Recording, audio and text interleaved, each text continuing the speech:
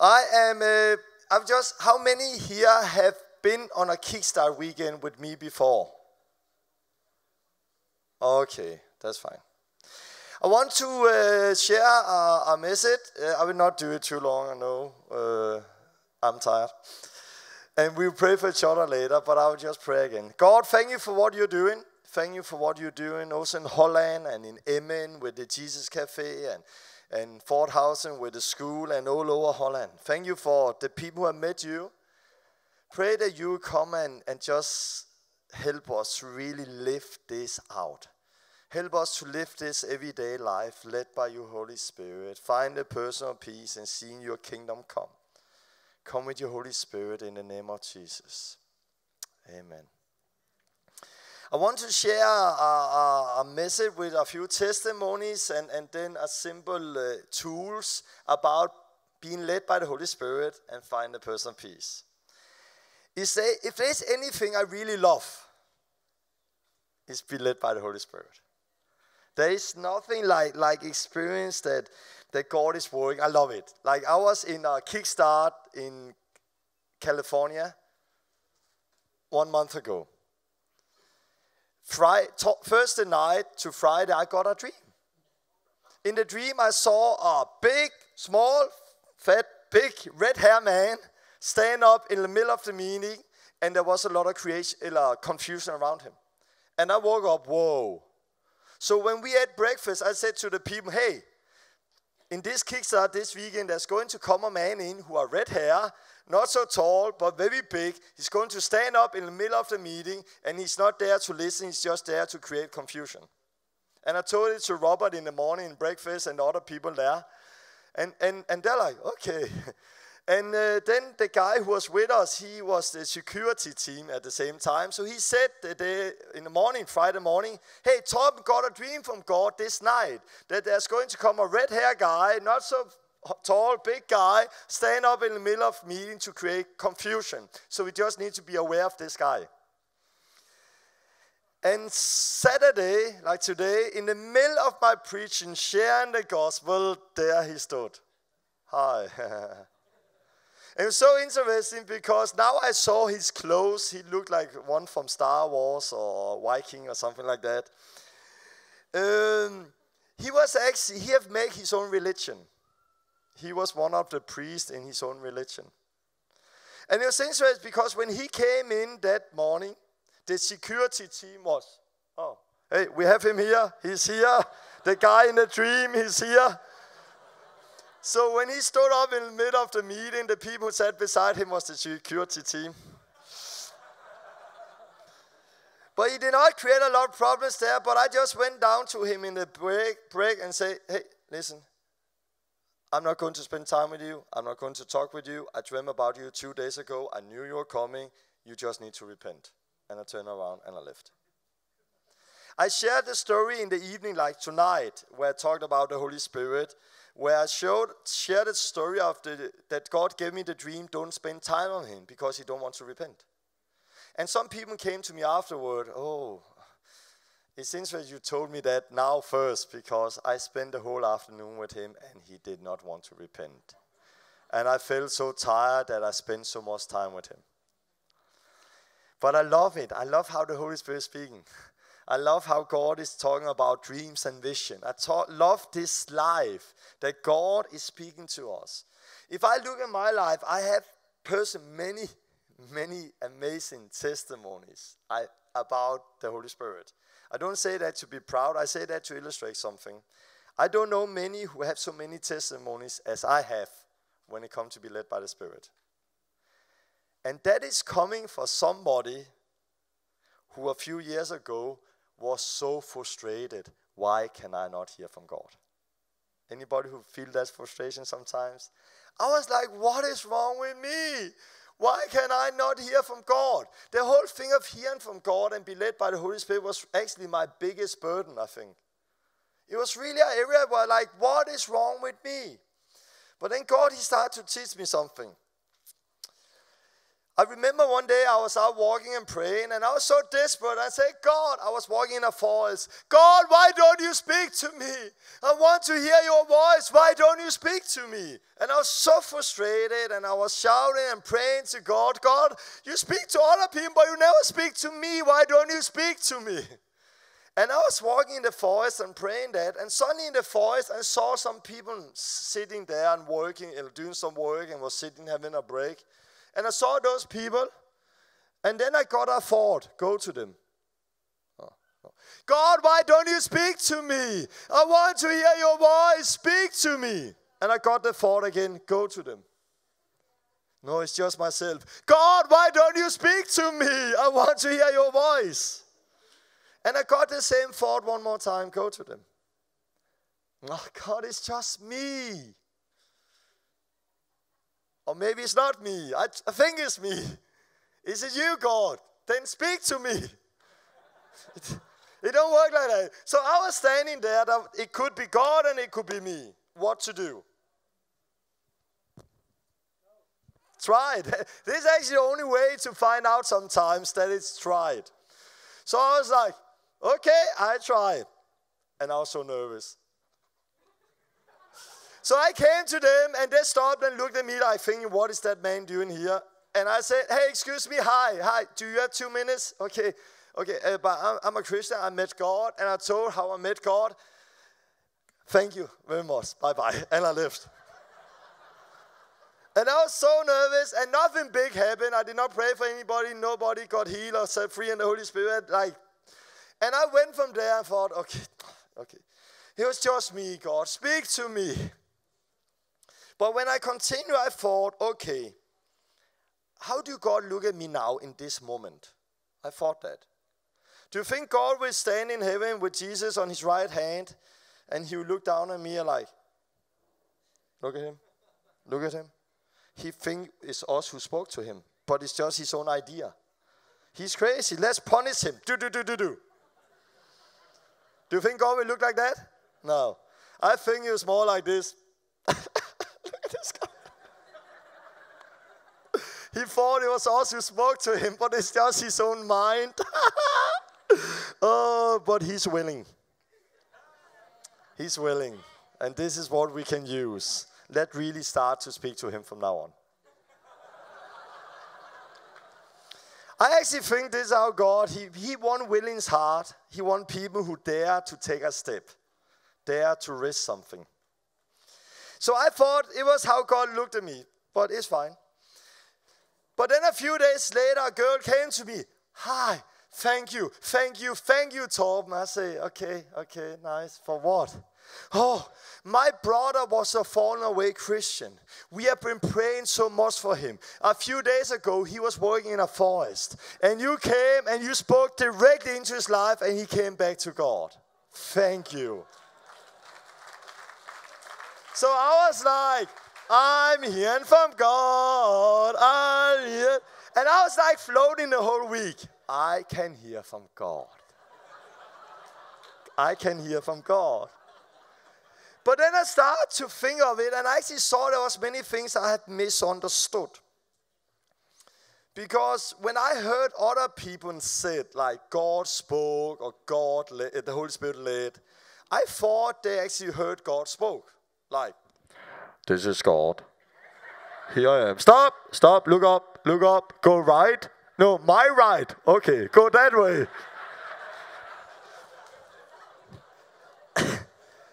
and I had never experienced that. So I was, I was, I was waiting and waiting and waiting from some, some, some voice, some supernatural thing. But when I heard from God that day, it was, it was my head. So I thought, aha maybe God speak like that. So next time I got a idea in my head, I was like, no, this is God. No, it's God. No, it's me. No, it's God. No, I think it's no. Okay, let's try it. And sometimes I found out, okay, I don't think it's God. Other times, kaboom, lot of things happen, and I'm like, I'm here from God. And then I took it and I tried to, okay, how did that feel? where did that thought come from? And I started to take chances and step out. And I started even more to recognize when it was him and when it was me. Like, like, like if, if somebody who are married, you borrow another telephone and call home. You will say, hi, it's me, and your wife will say, hi, why are you calling from this number? She don't recognize the number, but she recognize the voice. But if Fabian somebody else call from the same number, hi, it's me, uh, hi, you, who are you? Because they don't recognize the voice. Why do you recognize each other's voice Why somebody don't? Because you have spent time. The same with God. How do we learn to recognize His voice? By spending time with Him. Amen. And there have been a lot of misunderstanding when we talk about spending time with God. People think spending time with God is like only a religious thing where you go into a prayer room and then you spend time with God and you go out and that is it. I remember I was in a program in TV or, uh, or radio, how it was some years ago. And, and I was saying in that program that I often pray when I am driving. I like to drive and pray. And a religious person heard that and she said, No, it's dangerous to drive and pray at the same time because you cannot see anything like this. How can you drive like this? Because she somehow thought, and maybe I thought that, that praying is like you have like a telephone and you now lift it up and put it on. Lift, hi, here I am. And then instead of, instead of saying Roger over and out, you say Amen. And that is Amen really mean over and out. And I heard people mean that, think that. But if you do this and not do this, how you do, but God is not different from you being in a prayer room or being on work. God is, He want life, He want relationship. Try to imagine if we were living with our spouse, our wife, our husbands, like, like we often live with God. Try to imagine this is my wife. Every morning, 8 o'clock, 8 o'clock is wife time. I open the closet. Hi, wife. Take my wife out, put her on a chair, sit down, and I speak non-stop 45 minutes. Da, da, da, da, da, da, da, da, da. Amen, wife. Thank you. Good talking to you. Go in in the closet again. I do my everyday life. Next morning, oh, it's wife time. I need to spend time with my wife.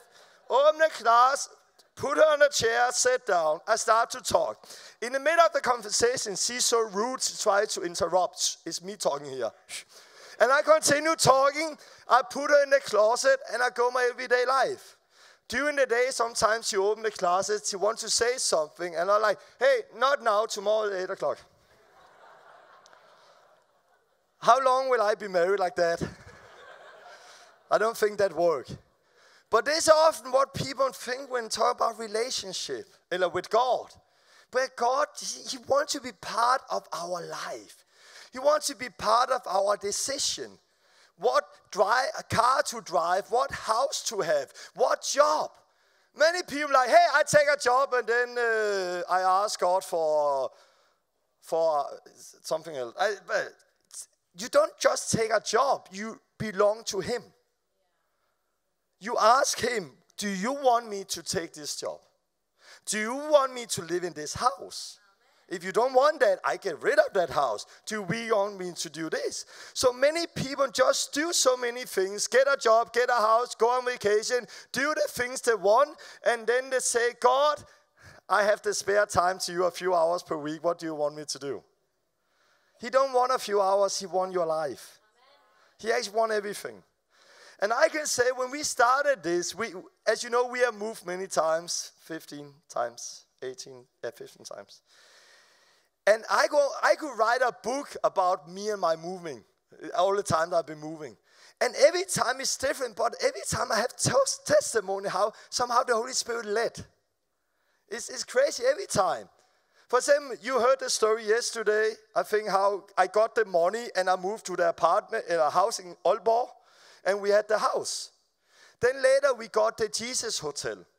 And when we got the Jesus Hotel, we, we were supposed to go and just look at it. And my wife said to me before we went there, Tom, I want to live at the Jesus Hotel. Said, no, no, oh no. We have just got this house we have rented. And I don't want to move again, again, again, again, again, again, again, again, and again. Because if we are going to move now, honey, I am going to paint the whole house. I'm not going to put the depositum I gave for the house. I'm not going to get that back. And we had to paint it all. And we've just been living here half year, and I don't want that. So please, let's just stay here. And she said, No, I want to live at the Jesus Hotel. Because I know you, Tom. If we get the Jesus Hotel, you just be there, and I'll never see you. And I was like, oh, no, but we, we are staying in this house. But she said, I want to stay at the Jesus. I said, okay, but let's go at the Jesus Hotel and then see what God is doing. But I think of the depositum. Think of the money we will lose by moving again. Yeah. So we went to a Jesus Hotel to look at it for, because we have got it, because we want to use it for the Jesus Hotel. And as soon as we came and parked the car with our daughters, Ah, our older man who owns the Jesus Hotel, he came out and said, Oh, it's so good to see you. And look at our kids. Welcome. This is your new place. This is where you are going to stay. I said, No, no, no, no. We, we, we have a house there. So we, we, we are taking this, but we're doing a training school, but we already have a house. That's nice. This is your place. Come, come. And I will show you where you can stay. And, and he was 80, he didn't understand it. And I said, hey, but we already have a house. Okay, but come girls, but maybe this is your room and this can be the bedroom and, and you can have a room there. And I was saying to we, and he continued and talking like we are going to stay in the house. And I was like, hey, okay, stop. We already have a house. We are staying there. And in the end, he understood what? We are staying there. Where? There. Are you staying there? Ah, I would love to stay there. Can I take your house? I take your house and move in there, and you take this house. what? Yeah, but we have a contract. I just take over the contract and move into the house, and you can move in here. Okay. So we actually just changed houses, and I, I didn't need to pay and do anything, and he took over our contract, and I get all the money back for the depositum. So this is the story there. Like every time we are moving, there is a new story. Every time something happening. And the Holy Spirit wants to lead us. A few years ago, uh, a guy came to me and said, Tom, I want to help you. I want to bless you. I want to give you a newer car. And I'm like, I, I, you know, you, you don't, you can, don't, if you want to be rich, do something else than what we are doing. So I've always been driving my old car and we are, never have any money and anything. So he came and said, Tom, I will give you a new car. I have 40,000.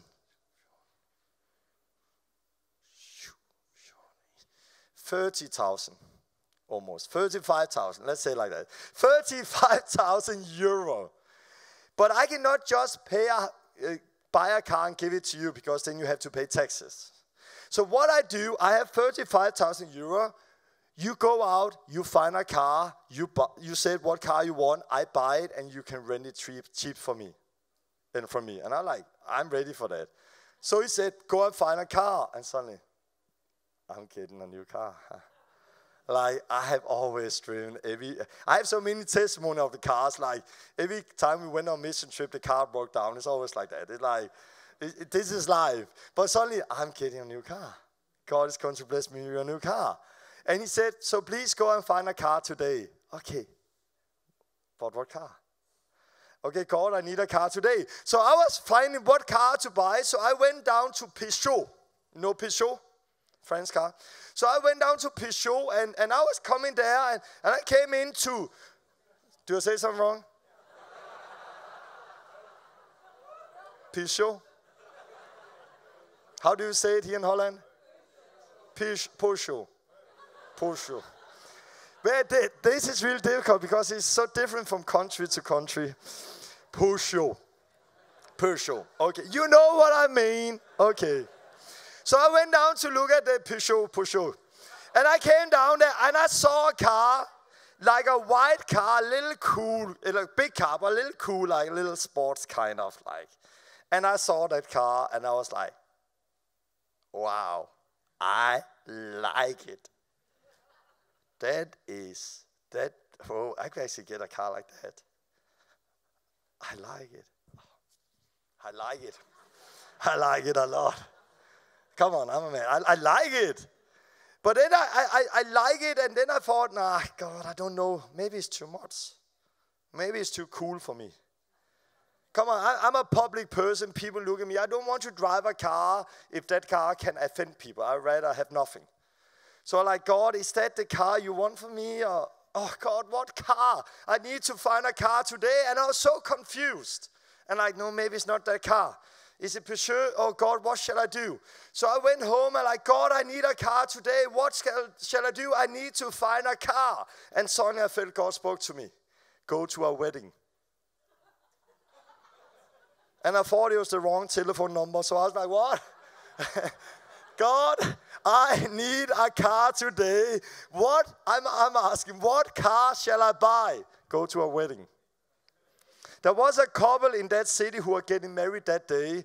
You, I thought at one time maybe I should go, but I decided not to go because I don't know them uh, so much. So, so I was like, no, God, I, I need to find a car today. And it just came to me, go to that wedding. And I was like, yeah. So I said to my wife, Lena, I need to go to a wedding.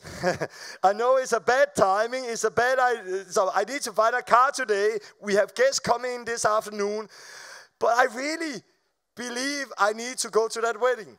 So I went in, I took a shower, and I was in the shower also praying, God, what, what am I doing? I, I need to find a car. Why do you want me to go to a wedding?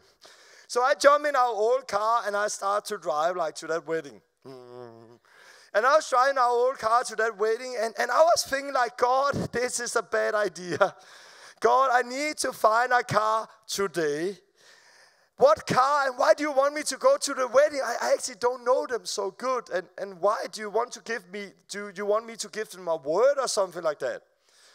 But I went there and I was standing outside the wedding and I was a little embarrassed. So, but I, I went in and I came in and like, and there was people, hi, Hi, Tom. I'm surprised to see you here. Yeah, me too. Me too. And I was like, I, I felt like I, felt I was the wrong place, but I just at the same time felt God wanted me to be in a wedding. So, so they came up and they got married, and it was kiss, kiss, and beautiful and everything. They said wedding. And there was a little worship afterward, and I was just, God, oh, what am I doing here? I want to find a car. I need a car today. Is it Peugeot? God, what car do you want me to have? Then after the wedding, there was a wedding cake. So yes, I got something. So I was sitting there. Oh, this is falling down. Two seconds. Sorry, I have an undercover thing. I'm a CIA agent, if you don't know that. So.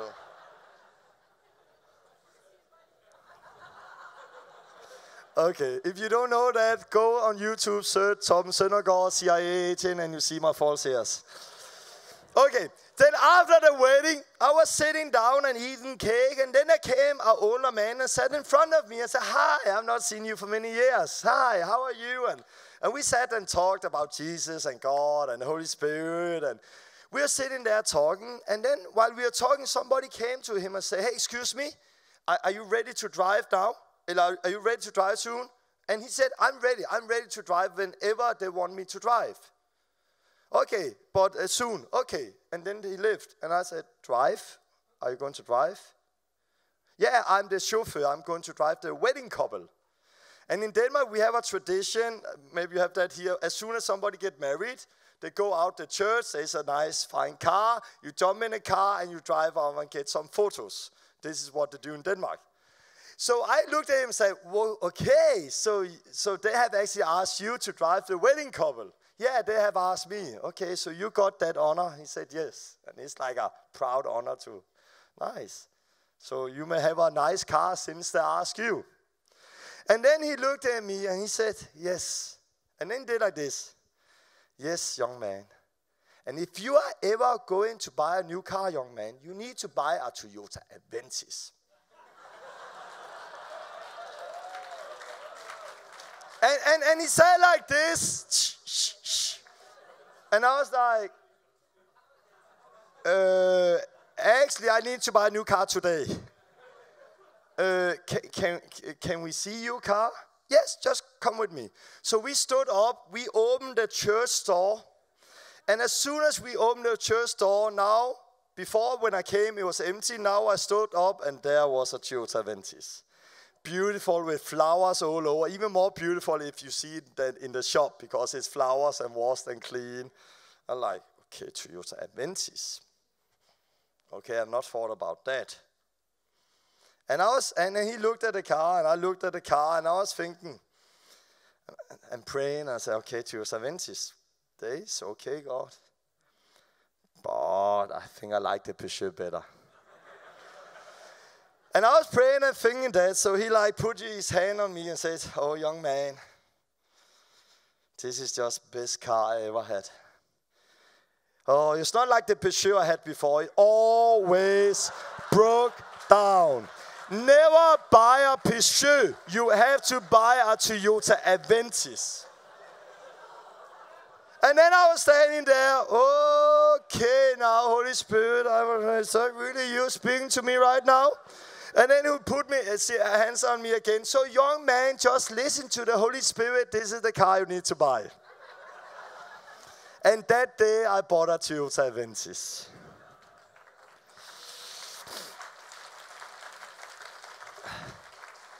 And it creates something. It creates security, safety. Where are you saved? You are safe when you are led by the Spirit. It don't matter where we are. It matters to be in the will of God, to be led by the Holy Spirit. And I've seen more and more of this. I want to tell a story now. I want to show a video from David, but you take that maybe tomorrow. I want to show us, yeah, tomorrow. Come tomorrow. I want to tell a story again uh, about how everything come together, how the Holy Spirit can lead and how things can come together and how we can find that personal peace we are looking for. And how we can start churches all by the work of the Holy Spirit. And how we can be safe without having control because God is in control a few years ago, we, we, we then start to, to be aware of the Holy Spirit that He actually wants to guide us, He wants to speak to us, He wants us to be part of our everyday life. And I want to say first, I have many, many, many testimonies of the Holy Spirit, but I'm not waiting for the Holy Spirit. And there's a difference. There is people who are just walking, walking, walking in their own power, and then there's people who are waiting and say, I'm not going to move before the Holy Spirit speaks. And they're often never moving. Jesus have already spoken his word, read it, obey it. So simple. When you read the word, you obey the word.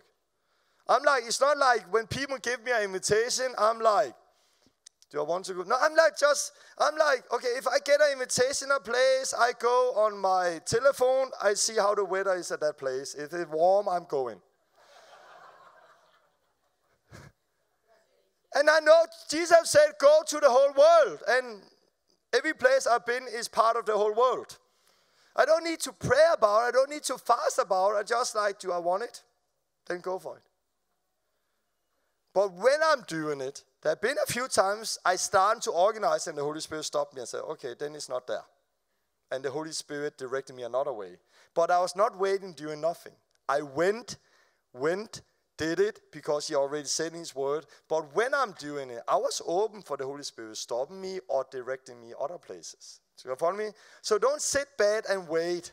Do it, but while you're doing it, have your ear, or don't fall off, have your ears open. Have your ears open and listen. A story where everything come together a few years ago. A few years ago, we, uh, we are driving. We were drive down through Germany and came toward Poland. Poland? Anybody from Poland here? Yeah. And we drive to Poland, and on the way to Poland, my wife said to me in the car I was driving, and my wife said, Hey, Torben. I said, Yes. There is something I've been talking with God about, but I have not told it to you. I'm like, what? What? What do you talk with God about behind my back? Come on, do you have a secret? I said, no, what, what, what do you mean? What, what have you been saying to God? As he said, I've been talking with God about that I don't want to be home for Christmas. I don't like Christmas time now. I do, I, this year, I don't want to be home. The give the, the kids, the present, the Christmas time is so stressful. I don't want to be home. I just want to do something important instead. Leave the country, go on mission, and do something. And I was like, I like that. I'm ready for that. But nobody wants to invite us for Christmas. Everything is closed down for Christmas.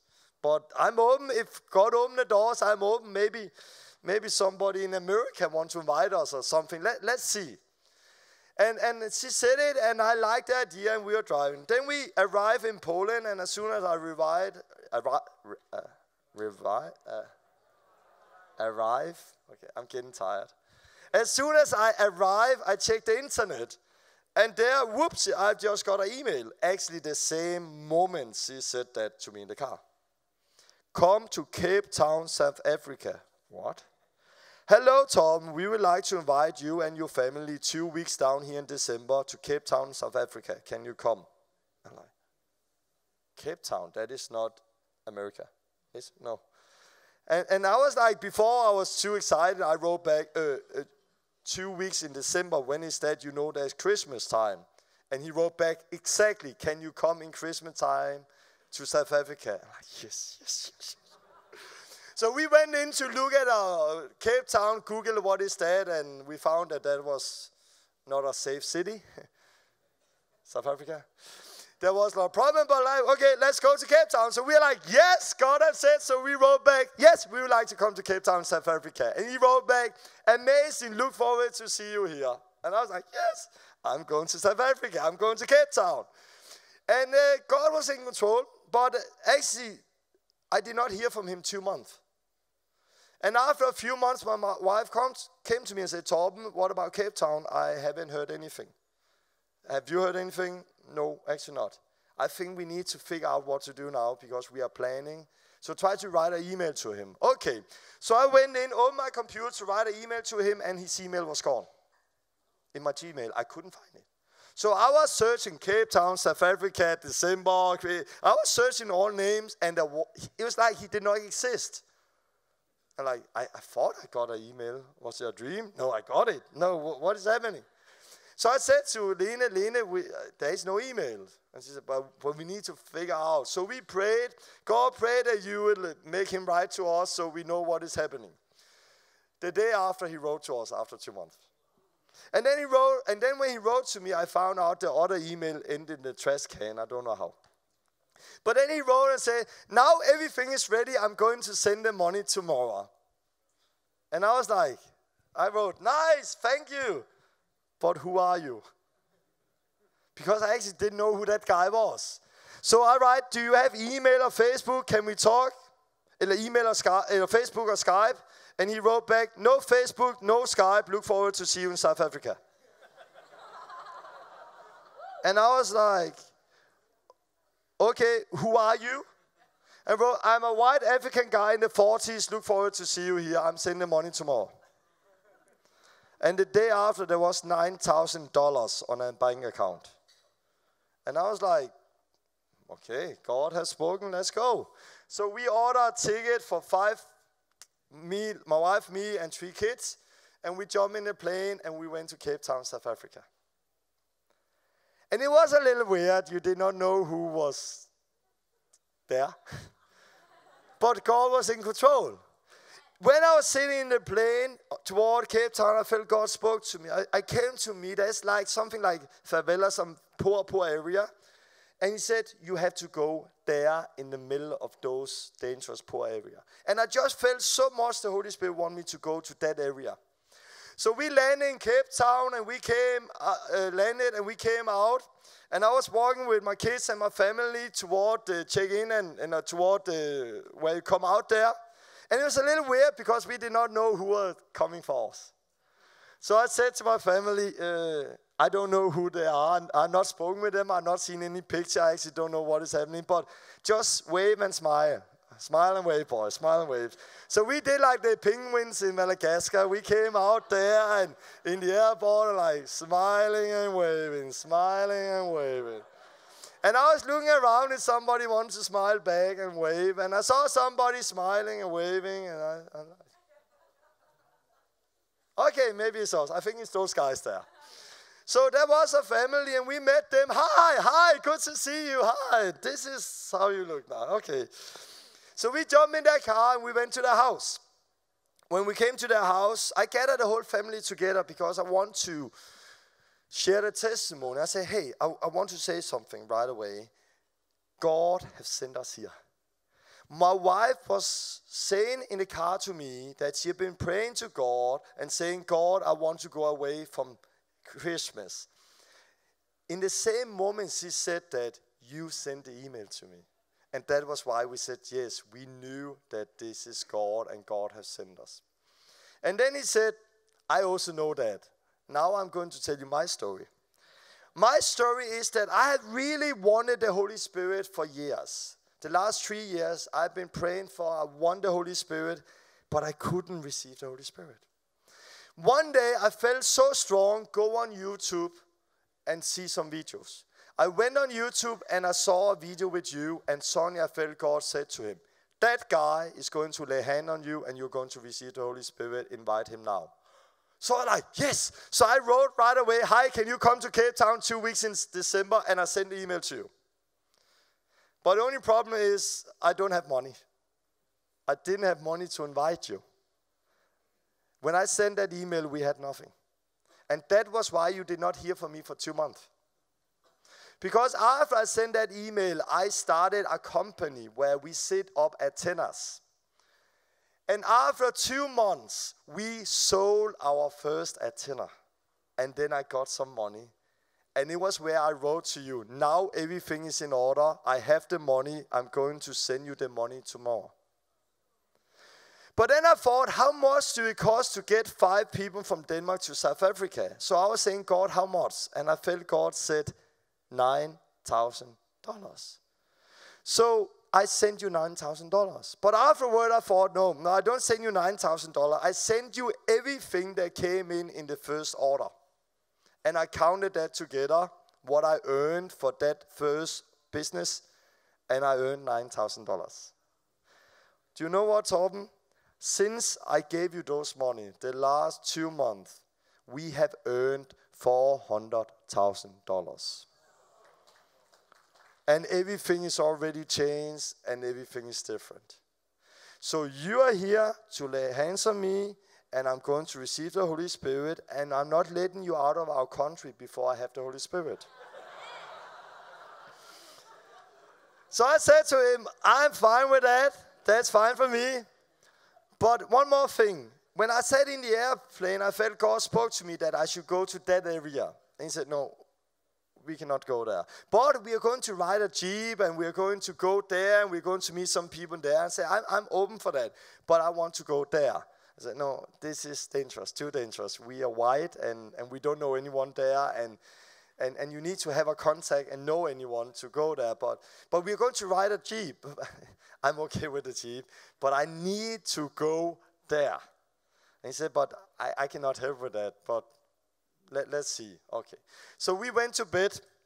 The next morning we woke up and, and we took a talk about the Holy Spirit and speaking tongues, and we sat and talked.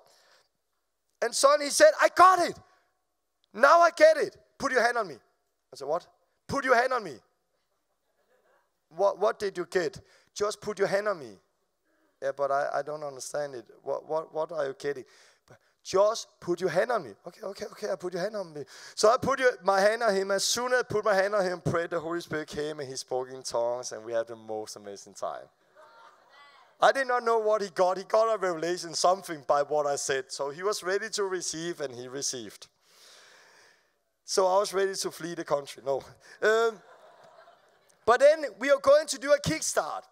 So we, we gathered some friends and then we went to the city and we were supposed to, to go down to, uh, to kickstart some people. And uh, we went down in the city. I just have a video here I want to show you. And, and, and we went down uh, in the city and uh, we met different people. And one of the first person we met was a woman with crutches. And I know this screen is not so big as this one, but, but you, you, you can hear it. This is a woman we met, and my friend who I kickstarted prayed for this woman. And here she have just got healed and she's running without crutches. What happened with you? the pain is gone. The pain is gone. And you can see the crutch. You have been walking with this. Mm. Seven months. Yes, Six seven months. months. Yes. Can see you walk. How is that? Fine. It's Jesus. Jesus. This is Jesus. Jesus. Put this. Keep it. That's right. And now they're running. I love South Africa. I just want to say it. I love South Africa. Jesus is the same. Jesus is the same. Hallelujah. Jesus is the savior. He's the same today. Savior. And we thank him for everything he's doing. Oh yes, I must just hold this stick. I must not choose this stick No, in. I want to give you a big hug. God bless you. You know, I'm also doing the. I'm. Uh, I'm looking after the orphanage. So she got healed there, and as soon as she get healed, she continue. Hey, I'm also looking after the orphanage. I have a house at home where we have a lot of kids. Some of them have AIDS. One boy is deaf dumb, and we are helping those boys in our house. Can you come and pray for us? I said, I don't know where do you live. There. But then it became even crazy because then I said, We are going there, we want to come. And then she said, I knew I needed to meet you today. Because just before, I was jumping in a taxi there and I was ready to take the taxi home. But suddenly I felt God spoke to me. Go out of the taxi, go 800 meters this way, and take a bus instead. And I did not understand that. That did not make sense for me. But now I know why I should not take that taxi because I needed to meet you. So we agreed to meet there in her city, in that area. So we agreed to meet outside the police station. In the there's a small police station in the middle there, and it was the most secure place for us to park. And we were supposed when we, we got her phone number, and when we arrived there, we should call her, and then she would come and pick us up. So we jumped in a car a few hours later and we drove there. That was far. And we drove there and came to that area.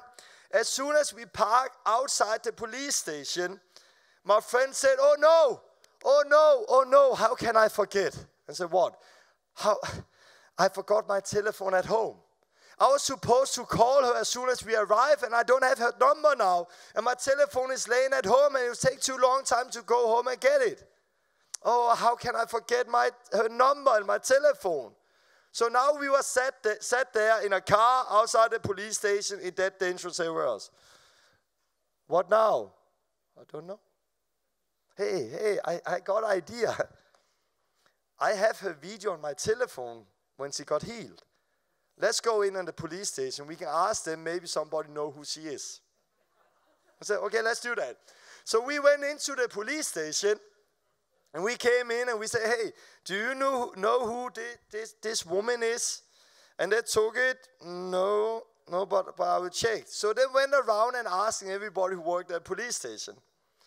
Short time later, the police chief came back to us and gave me the telephone and said, no, I don't know who that woman is, but I like your telephone cover. At that time, I had a telephone cover that looked like a Bible, like a small Bible. And then as soon as he said that, he said, Who are you? As soon as he said that, that woman came in the door. I said, Hi, you are there. Hi, you are there. But we are supposed to call you.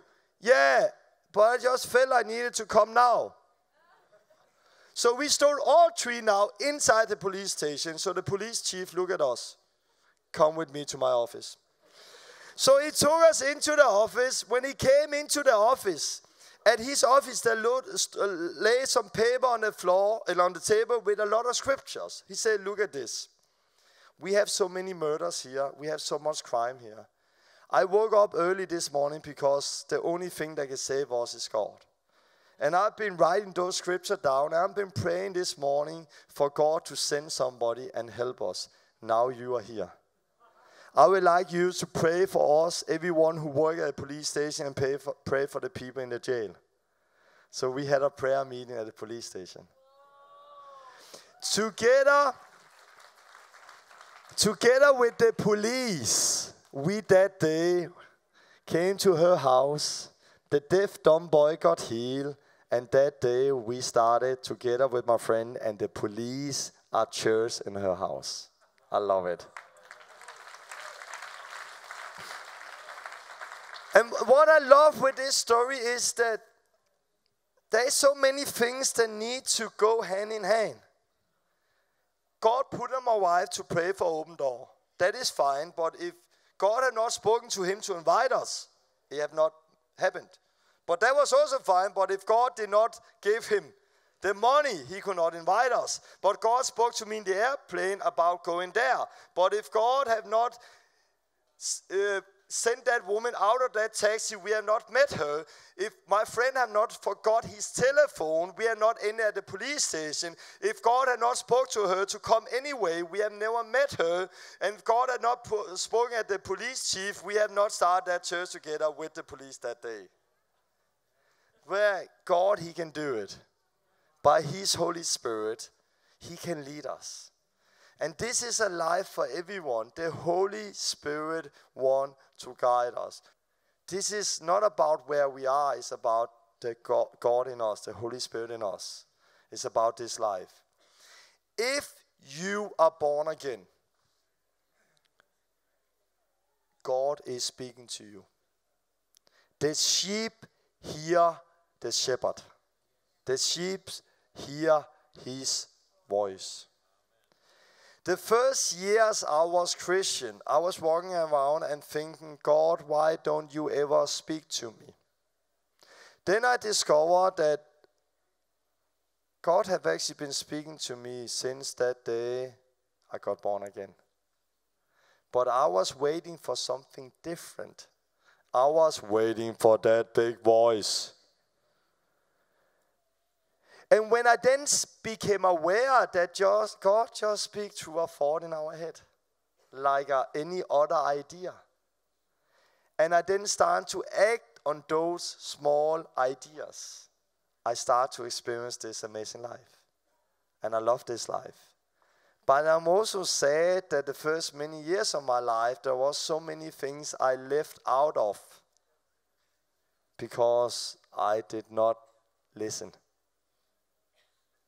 I did not have ears who was listening to what the Holy Spirit was saying. God is speaking to everyone in this room. But who want to listen? Take you, give yourself, let's say like this. Next time you get a thought, say, God, here I am, speak to me. Next time you get an idea, why not try to act on it? Like the two girls today, I was prophesying over her. I told her everything about her. It was not a big voice, it was just like, it came. It was idea. It came to me and I spoke it. Act on it. Try it. Maybe it's you, but maybe it's God. And if God, then you recognize next time, how did that feel? Of course, it's not every idea, you know, you should act on, but you know what I'm meaning. But try to say, God, here I am, speak to me. So if you see somebody and get idea, here pain in the knee, try it. Or see a pain in the shoulder, try it. See if just lost somebody, encourage her. Hey, take the telephone, call to that person and say this. Send some flowers to that person with a greeting. Try to do it. Try to act on. You don't need to say, the Lord is saying. Just go and say, hey, just pray it out maybe, like I did with those girls. I did not say God was speaking. I just said the things that came to me, like prayed it out, and she just broke down. Okay, do you follow me? So I want to encourage you, take those chances. This is going to open up for a life of adventure. Nothing is impossible for God. And He wants us, He wants to be part of our everyday life. I'll just pray. God, thank you for everything you're doing. And I thank you because you are speaking to us by you, Holy Spirit.